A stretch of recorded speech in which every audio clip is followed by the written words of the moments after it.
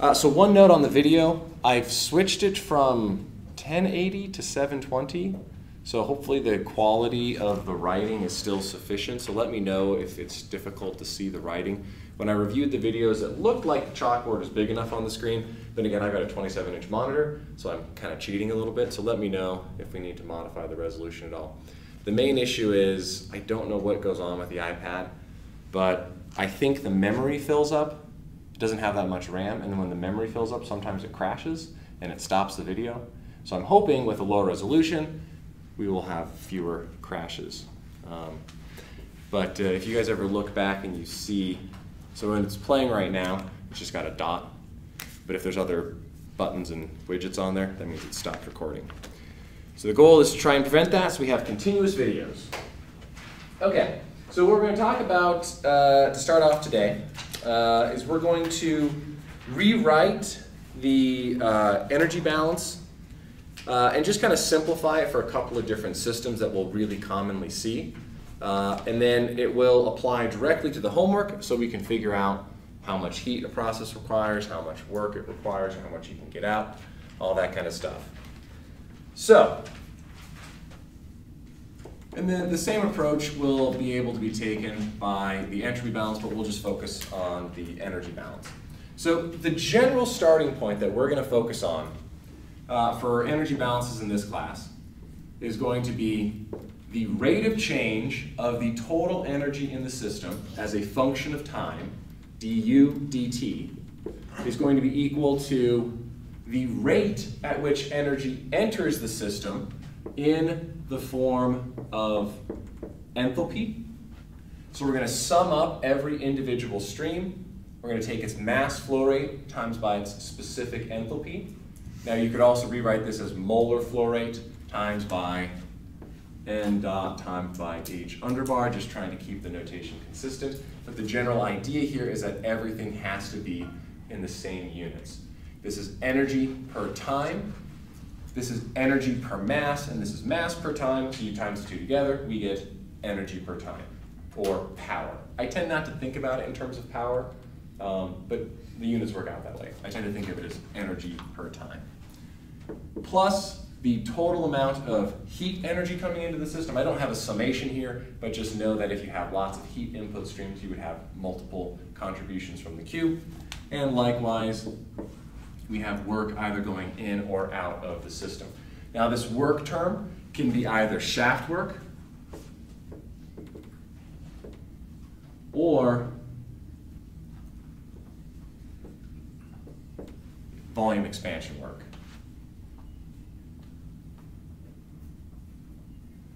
Oh, one, one, one note. I did make a mistake, and I knew I was going to make this mistake. In the gravitational potential energy term, when we, when we break this up here, and we have that m times by this phi for gravitational potential energy, uh, I had it messed up. Rho gh is what I was messing with. This gives us pressure. mgh gives us energy. So for gravitational potential energy, this is just equal to GH. I messed that up in the, uh, the notes, I think, on the first, first day of class or second day of class. I don't remember which one. But I wanted to clarify that. All right, so a couple of simplifications that we're going to see very commonly. Now, this is the general starting point. Again, so anytime you're working on a homework problem or an exam problem, that has to do with an energy balance, write this down. This is going to be always going to be your starting point. So we're going to simplify it a little bit. So if you have a closed system, what do we simplify? Closed. It'd be no mass flowing across the Yep. boundaries. All the mass flow rates are equal to zero, so the equation simplifies.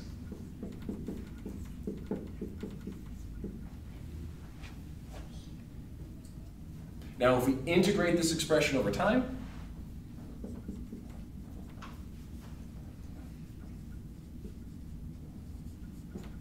we just draw a little integral, and this is why thermomath is so nice and fun.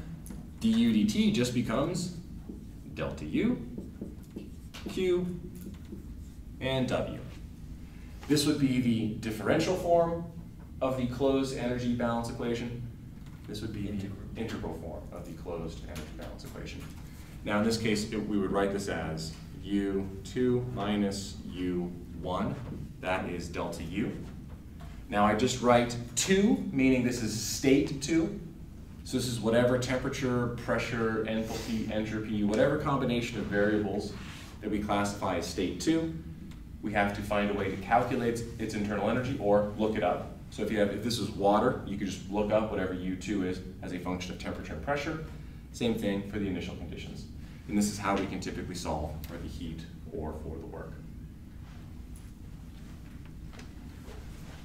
Now if we say it's open and steady state, what do we say is equal to zero in this general balance equation? This term goes to zero because steady state means there's no change as a function of time. So anything that's over t, little t of course time, goes to zero. So in that case, we would say that du dt is equal to zero, but the rest of the equation stays the same.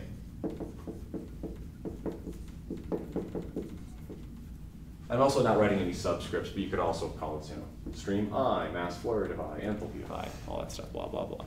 I'm just truncating that for simplicity. So for a lot of systems, this is as far as you can simplify it down. If you have multiple streams in but only one stream out, it's kind of hard to set up a delta H. But let's look at a simplified system.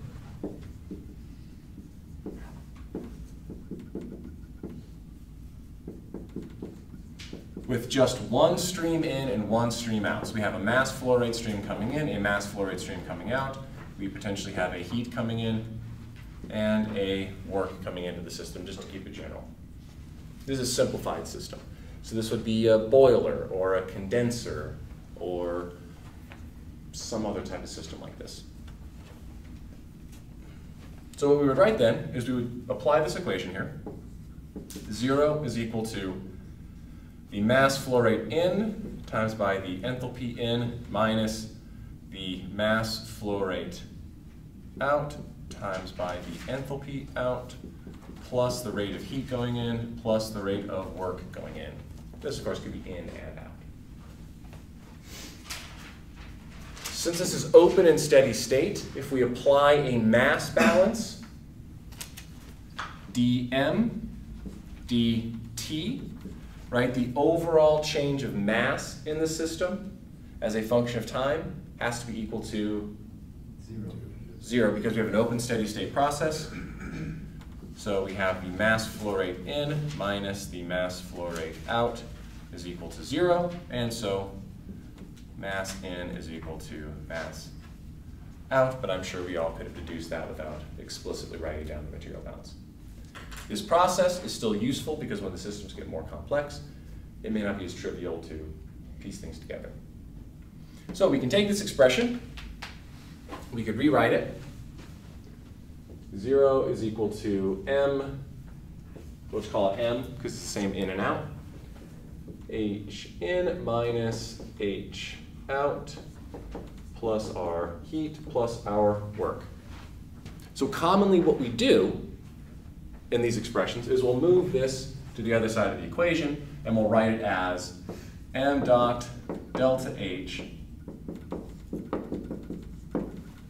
where the delta h is um, out minus in. So this is, this is oftentimes where we get this confusing piece of information where we say, oh, it's a closed system. Oh, you should use delta U. Oh, it's an open system. Oh, now you got to use delta H. But it's not necessarily always going to be that straightforward. Because this work term right here, if you do this closed system at constant pressure, this work term turns into a P delta V. and you move that over to the other side, then you get delta H. So it's not always as simple as closed system is delta U, open system is delta H. This ability to write the energy balance in this compact form, where we say that delta H is equal to Q plus W, that's only possible when we have a system that's as simple as this one here. But if we had a process, for example, that had three streams in and one stream out, there's no way we can find a, define a delta H. We would just have to keep this full open form. You would have one, two, three streams in and one stream out. How do you guys feel about energy balances? We can go through exactly the same procedure and simplifications for an entropy balance as well. If it's adiabatic, Q is equal to zero. If it's steady state, du dt is equal to zero. If it's closed, mass and molar flow rates are zero. And so we can do the same thing for the entropy balance. How do you guys feel about simplifying the general balance equations?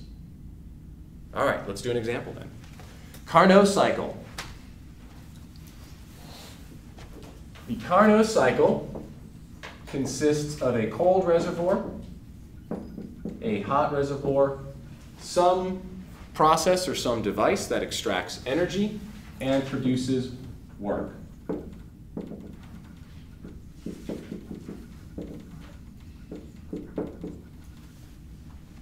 So the Carnot efficiency, we're going to call it eta.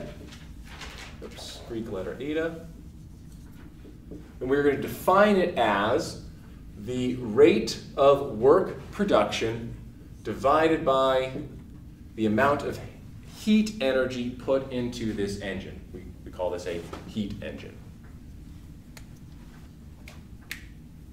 So, I'm calling on random volunteers. Work out the energy balance and the entropy balance for this process and see if we can derive, oh, sorry, QH, be more specific here.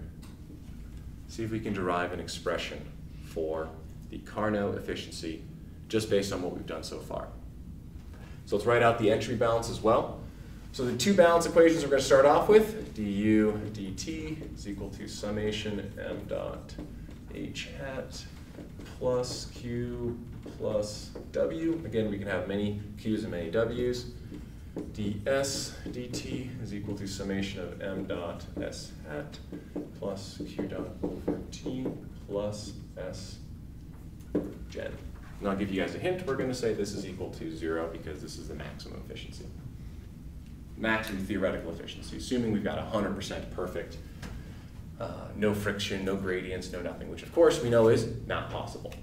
That would take an infinite amount of time. How would we transfer heat from, let's say, a flame exploding in a car engine to whatever the complex mechanical apparatuses we have for the pistons moving and getting the car going? Okay. Let's first focus on the energy balance. Take a moment, write out the energy balance, and I'm going to call on some victims to tell me what they came up with. Simplified, rearranged, structured in whatever way you find the most convenient in order to solve this problem.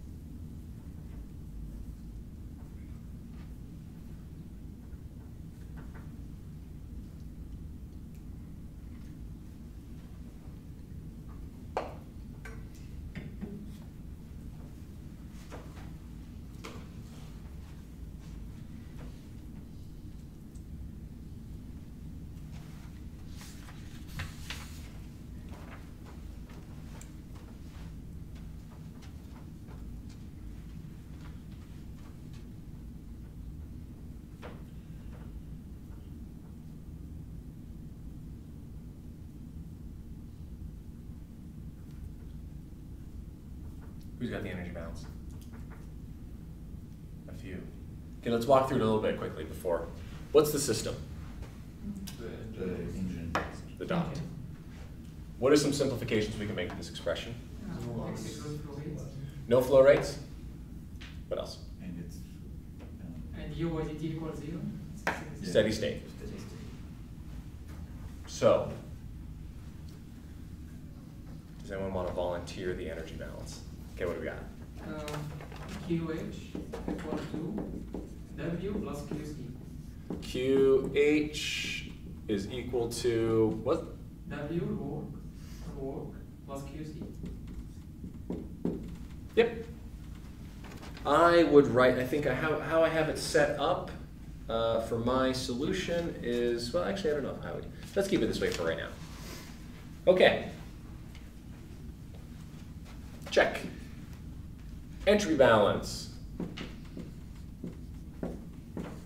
What's the system? Engine. The engine. What can we simplify? Uh, anymore. No mass, steady state. So let's write out the entropy balance.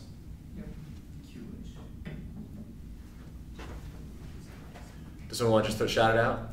So QH QH by QH. TH is equal to QC by TC.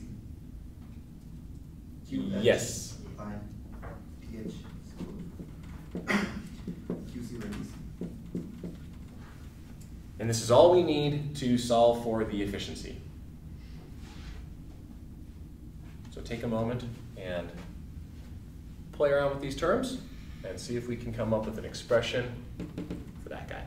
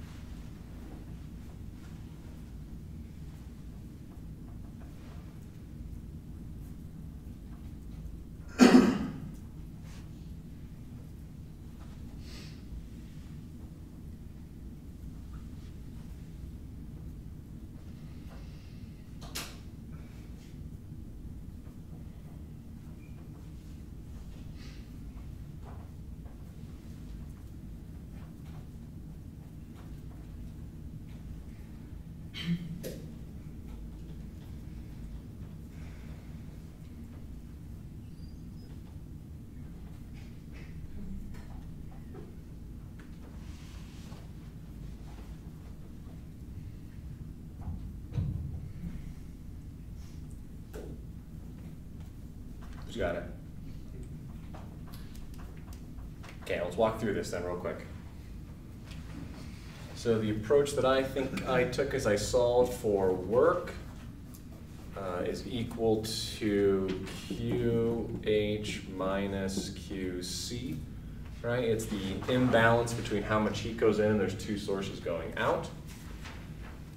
Substitute in, solve this for QC, so Q dot C is equal to Q dot H over T H times by TC. Substitute that into here. Uh, we get Q dot H minus Q dot H times by TC over TH.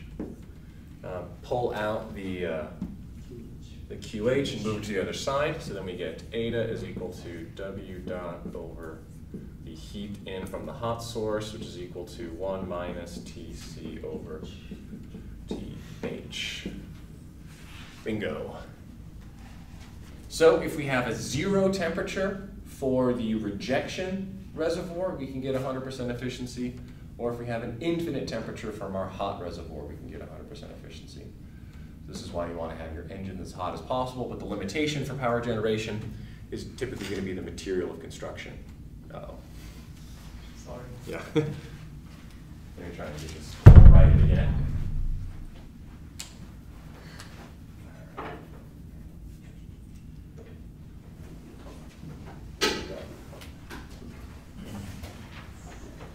Okay. So, now what we've just done now with that example is effectively no different than what will be performed on the homework itself. Yes, question? Is it wrong to say work goes the other way? No, I think it all should work out regardless of how you frame the question. I mean, it'll, it makes it. It would modify your energy balance here right, potentially.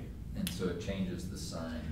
It would, yes, and I believe what it would do, it was, it would, it would, uh, it would redefine how you call your efficiency. So let's say we did change work to say going into the system, Yeah. then we would want to define our efficiency as the work extracted. So then we would just call this the negative work. Because that's what we would care about, how much work we can pull out of the system. And then I think everything should propagate through just fine. We would just call this negative, and then this would be negative, and, and everything would kind of cascade into place. So, uh, in the homework, uh, problem one, I believe, if you guys have, you looked at it, more or less just says you have steam entering a turbine extractor.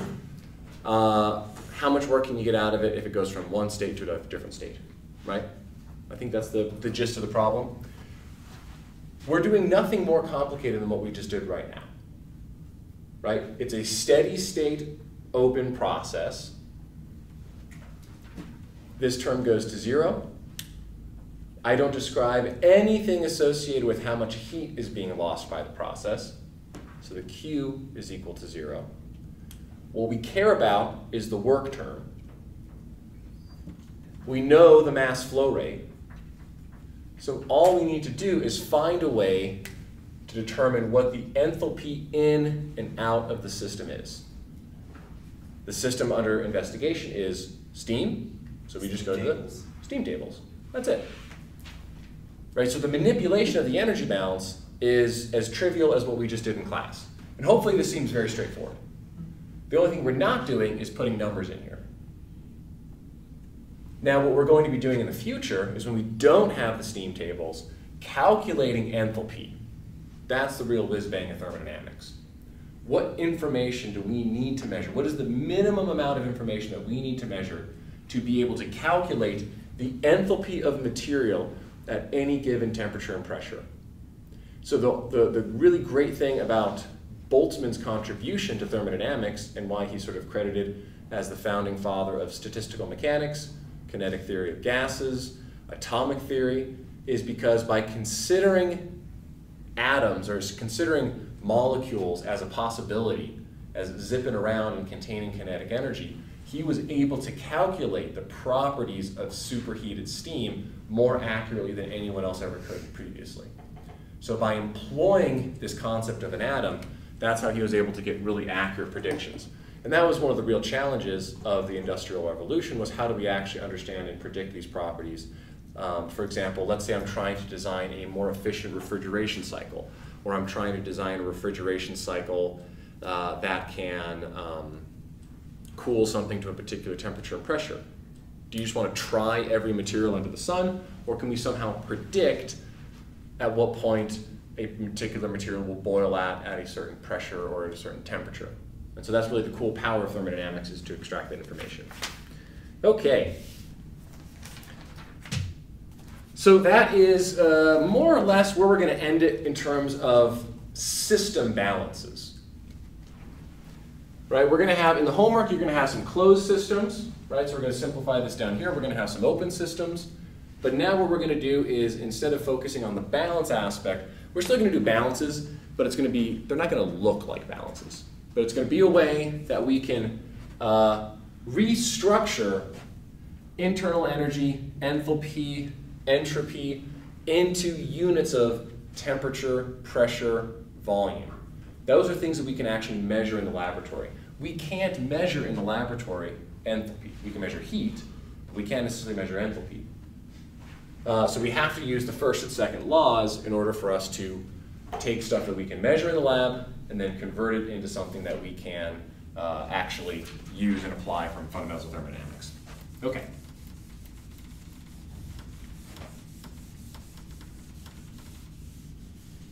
So what we're going to talk about now is Helmholtz and Gibbs energy.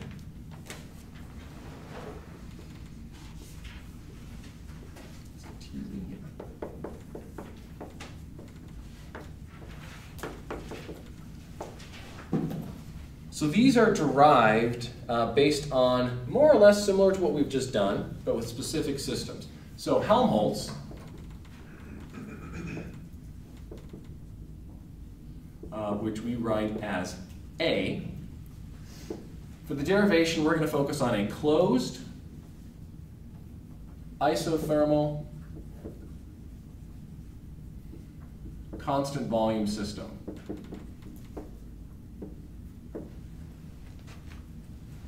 Oftentimes you'll see this written as NVT, letting us know these are the three variables of the universe, and our universe that we're considering is the system, where we've got a box where the volume is constant. We have work coming in, and we have heat coming into the system. So we're going to call this an NVT system. So this is our universe. These are the variables that we are considering that are going to be changing. We're going to write out the energy balance.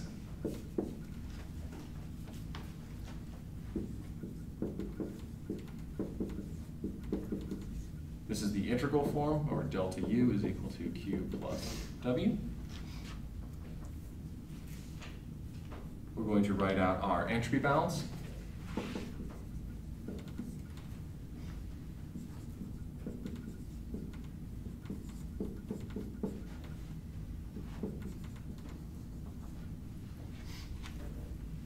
Or rather, we can just write this as delta S.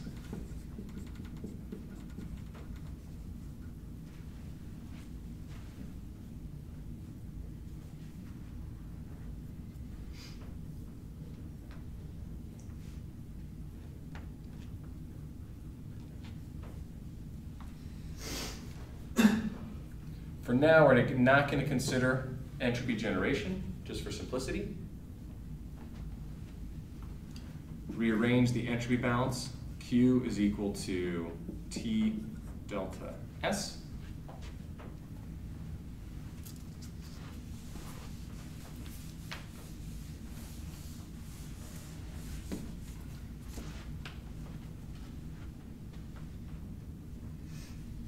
And we're going to substitute these together. Many of you can probably already see where this is going. I'm going to call it reversible work because we're assuming that the entropy generation is going to be zero in this case here.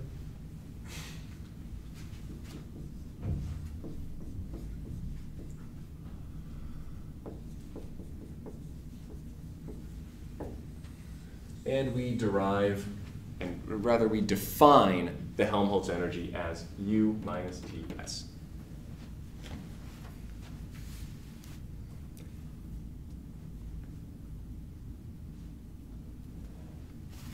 We can also write this, instead of the deltas, just say A is defined as U minus Ts.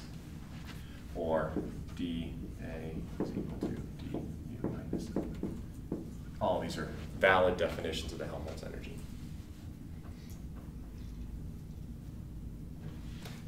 I'm not, not, I think we might define it based on F dsdt, so I'll hold off on that one yet.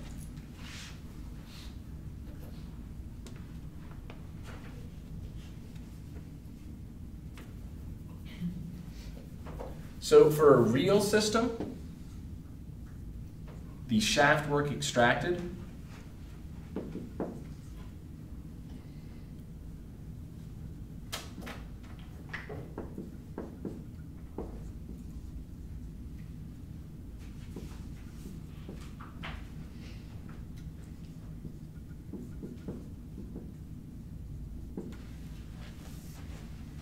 if we are having entropy generation, like we didn't consider this term, if we had propagated the entropy generation throughout the whole process, this reversible work is that expression right there.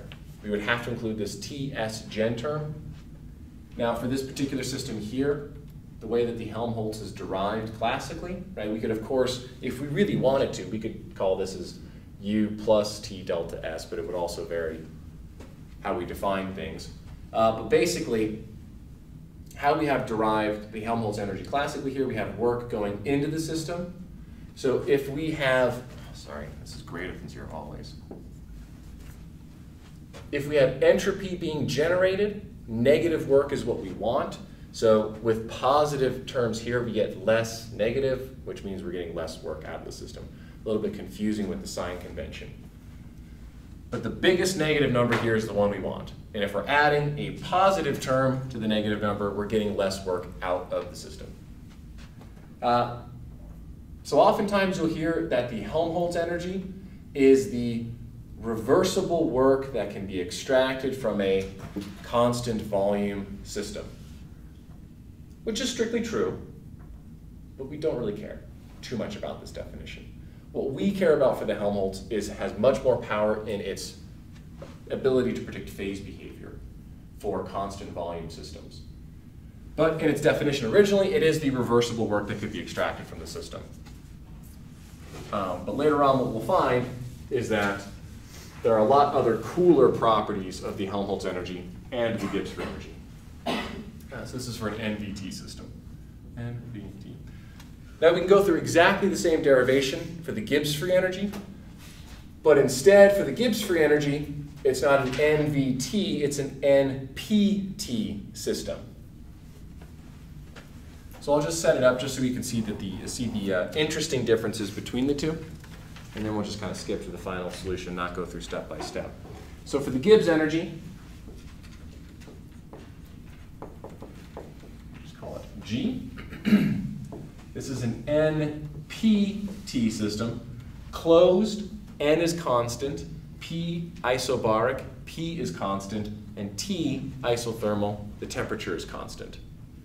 So the differences between these systems then would be that the box or the system can expand and it can contract. Constant pressure, we have work coming into the system, and we have heat coming into the system. So the main difference here, when we look at the energy balance, we have delta U, which is equal to U2 minus U1. We have the heat into the system plus the work into the system minus P delta V.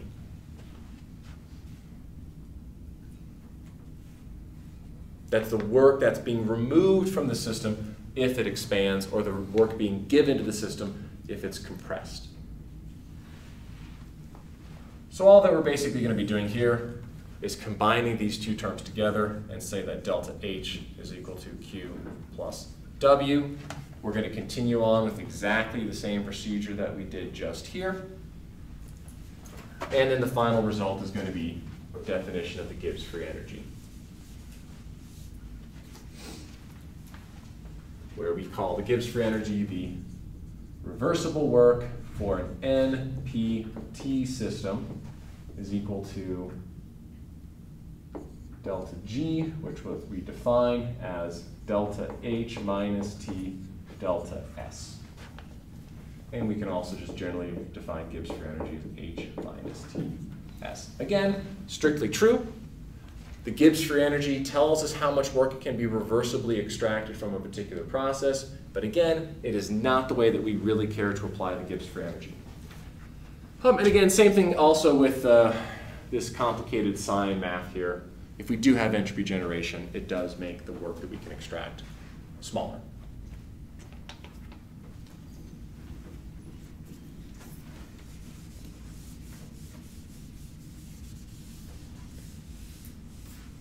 Okay.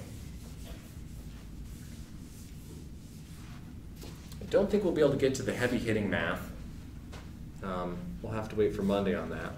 But uh, in the last 15 minutes, I want to go over one other example that's going to be helpful for the homework.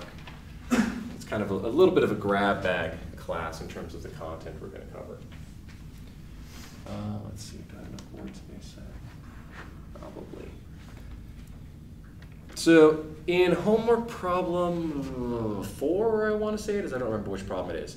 Uh, you have to tell us what the rate of entropy generation is for a particular process. Again, in the entropy balance, I've, I've, I've tried to make this clear. Don't, generally don't ever try to use this term. it's not particularly useful. Sometimes may be an instance where it's useful, but for most of the types of questions that we're going to deal with with real processes, uh, you will not be using that term. You'll be finding a way to draw your system so you don't have to bother with it. Um, but what I wanted to go over is to play around and manipulate a little bit uh, the entropy balances and demonstrate how entropy is physically generated in real systems.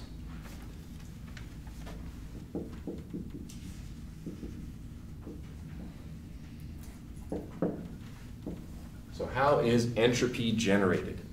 For this particular example, we're going to again do a simplified system. We're going to have a box with a barrier between the two. This box is going to be completely isolated. Lots of little dashed lines. So Q equals zero overall for this universe that we're dealing with.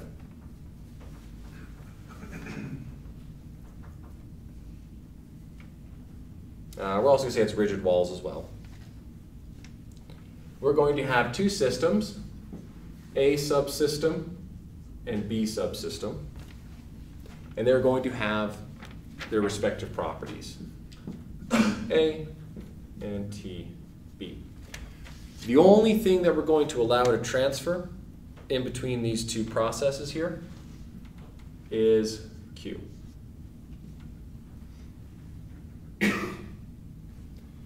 Now, one thing that's important for this derivation, that's not really going to affect the math too much, but you'll see why it's important after we get to the conclusion. We're going to say that the temperature inside compartment A is homogeneous, and the temperature inside compartment B is homogeneous. Now, how this can physically be possible is if the rate of heat transfer is slow, such that anytime some heat diffuses through this barrier, the thermal conductivity in this side is fast enough to cause the temperature to reach equilibrium, and the thermal conductivity in this side of the chamber is fast enough for the system to reach equilibrium. It just makes the math a little bit simpler. So, let's do entropy balances. So we're going to do a entropy balance on the A side. A side S val.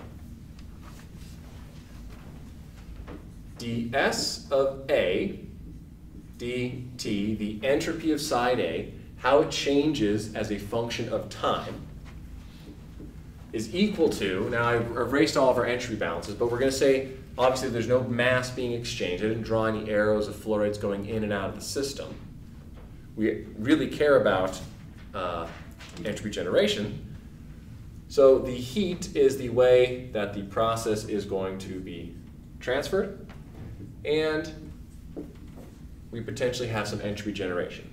Now for our simplification, I said that the temperature is internally homogeneous on this side here. Which means that we're going to say there's no entropy generated. We don't know that yet. The whole derivation is supposed to demonstrate that, but we'll see after the fact that that's what that means. So for this process, we're going to borrow from heat transfer. The rate of heat transfer uh, is going to be, so in this case here, Q dot minus H, well one side's going to be minus, one side's going to be plus. T A minus T B, actually this would be, way I've drawn the arrow, there'd be no minus sign there. T A. And then I made a mistake here. This has to be minus. Because I've drawn the arrow leaving the system. It's negative heat.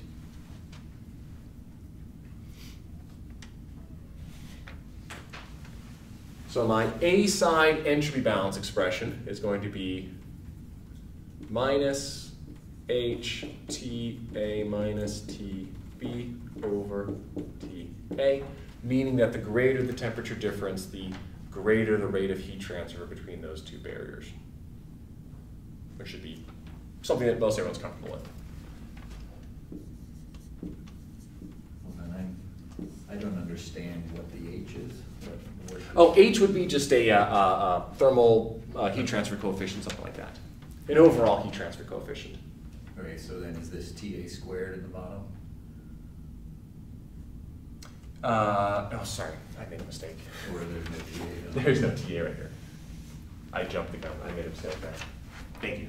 Okay, so that's, all right. Yeah, this is just, yeah, so this just makes the units work out, so whatever the temperature difference is, the larger the temperature difference, uh, the greater the rate of heat transfer. Yeah, understand. Okay. Yes, good catch. Ah, so on the B side, we'll do basically exactly the same thing, but signs will be a little bit different.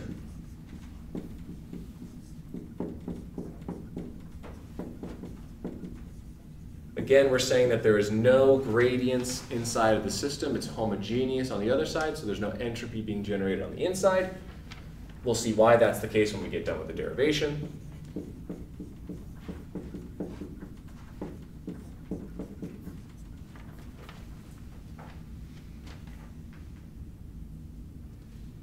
Should be the same, just mirrored because the heat's going from one to the other. Now, of course, if we screw this up, we don't know if TA or TB is higher, but as long as we're consistent based on how we've drawn the arrow for our heat, it all should work out just fine.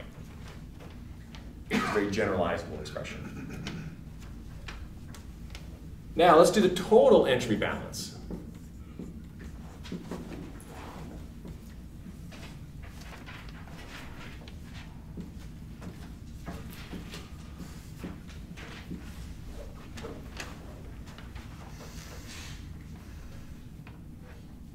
Total entropy balance. So I'm going to draw a lasso around my entire universe.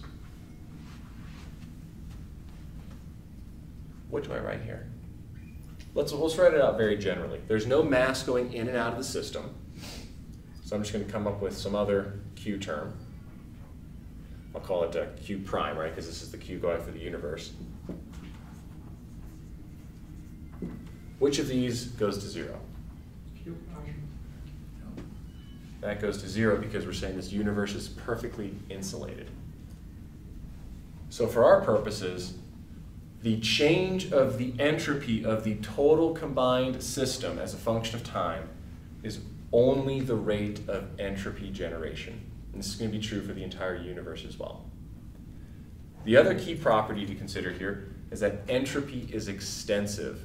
The more mass a system has, the more entropy it has. If I have two buckets, A and B, I can add together their individual entropies as long as they stay isolated. If they mix, then you have entropy generation, which is something we'll talk about on a different day.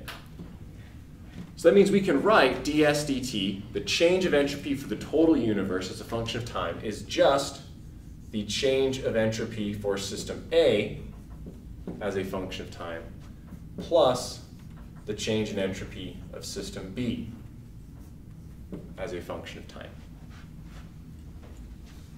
This is just the property of entropy that it is an extensive quantity. Mass carries with it entropy. That's all we're saying basically in this expression right here. So if we do our substitutions, we can find that the rate of entropy generation is equal to what we have derived previously.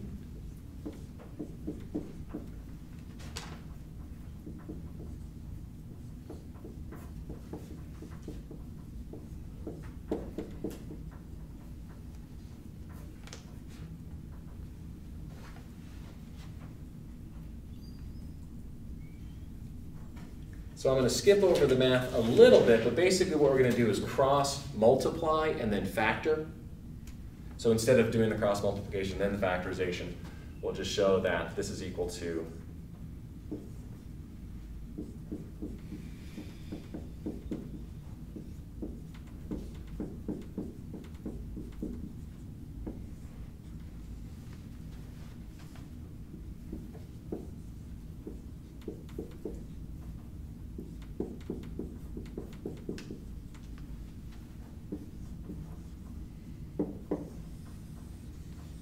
This is the big conclusion, the nice summary.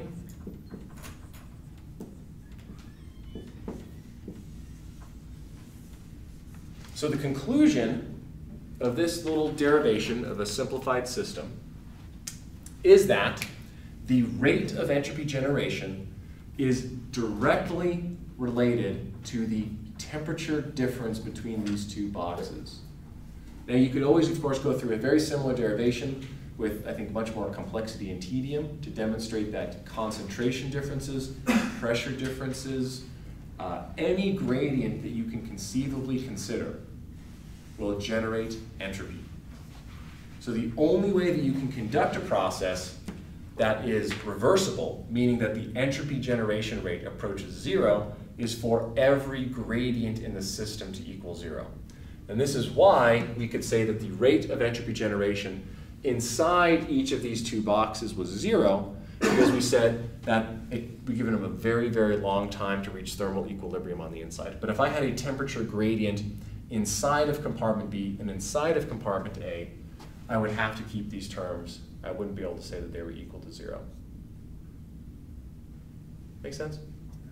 So entropy is generated by gradients. So if I have two beakers filled with water, and they are on a hot stir plate. They both start off at room temperature. This stir plate, I'm trying to get it to, let's say, 70 degrees C for a particular reaction that I'm doing in the lab. All right, that's my goal. So let's say T end is equal to 70 degrees C.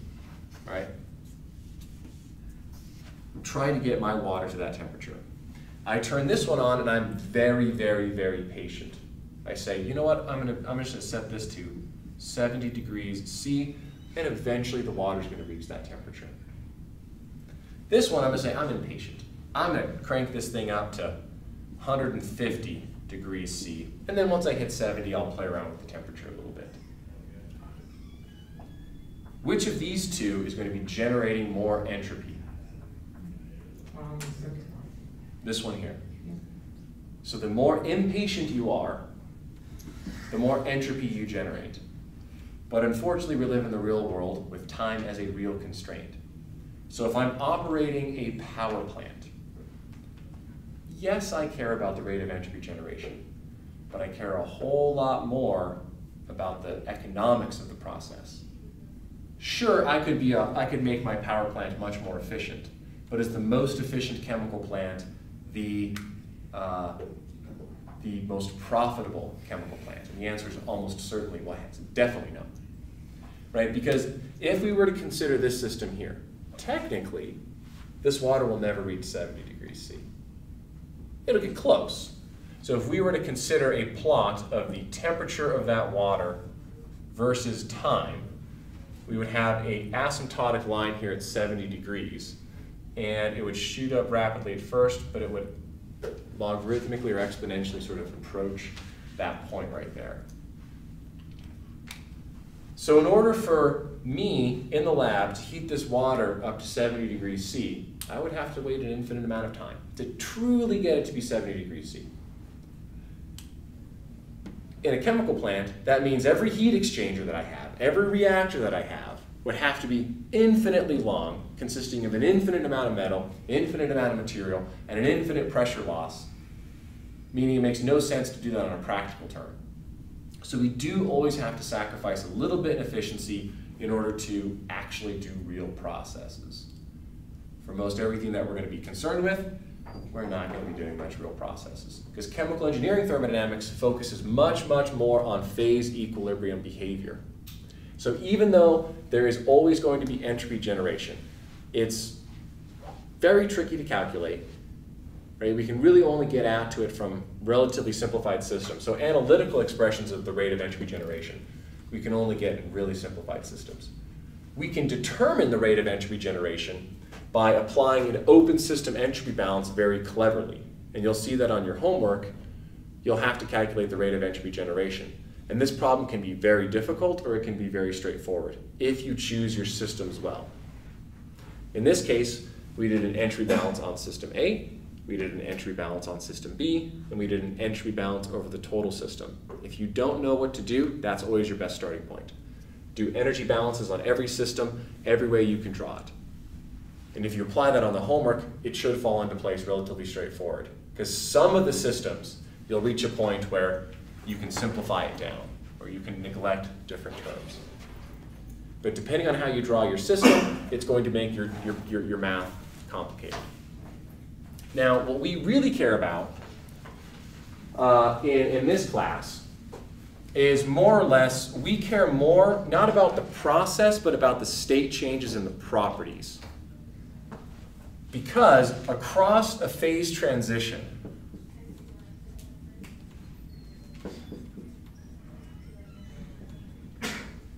this is sort of just looking for and setting it up. Delta G is equal to zero. So the Gibbs free energy of a saturated liquid is equal to the Gibbs free energy of a saturated vapor. That's what we really care about. When it gets to multi-component, the expressions get a little bit more complicated. We use a term called partial fugacity, or the fugacity. But in this case, we define Gibbs as H minus Ts. So as chemical engineers, when we approach thermodynamics, we're not the ones that are the heavy lifters designing power plants, designing heat exchangers, designing pumps. Our heavy lifting in thermodynamics is telling people, if you mix this polymer with this solvent, this is how much is going to dissolve. If you boil this mixture of ethanol, methanol, propanol, this is what the composition of your vapor stream is going to be. If you mix these two liquids together at this temperature, they'll phase separate following a spinodal decomposition mechanism. That's what chemical engineers specialize in in terms of thermodynamics. No other discipline does that process. So in our terms, what we really care about is how can we accurately predict H, S, U, P, T, all these different terms. How can we accurately predict these quantities? Because we want to be able to predict H, we want to be able to predict S. From that, we can calculate the Gibbs free energy and determine information about the phase transitions. Enthalpy and entropy are state functions. It doesn't matter how we get to a particular state. So every time in our math and our calculations, we're going to choose a path where the entropy generation is zero because it makes our lives easier. It's a really tricky, complicated term to handle. So if we don't care about the time or energy or effort it takes to get from one state to the other, we just really want to know its properties. We're going to choose a path that takes infinite amount of time because on paper we can do the math very quickly. And that's really the goal of what we're going to be accomplishing now is coming up with expressions to calculate these quantities to answer phase behavior questions through paths that are reversible. So a lot of the paths that we're going to take are going to be isentropic paths or gradient-less paths, so we don't have to worry about entropy generation. So we're going to just artificially design everything that we do to make the math as simple as possible because our goal is to get to this point right here and to apply it for very complicated systems. All right, any questions on what we're, the vision, I guess, of what we're going to be doing over the next couple of weeks? Cool, one week down. All right. See everyone on Monday. Have a good weekend. Oh, and one last thing. Uh, barbecue, welcome back barbecue, is right now. I think it technically starts at 11, so I don't know, go get a drink of water or something like that. Um, but on the, what is that, the southeast side in between the Merrill and the Warnock, that's where we're going to be having the, the barbecue. So please, please show up.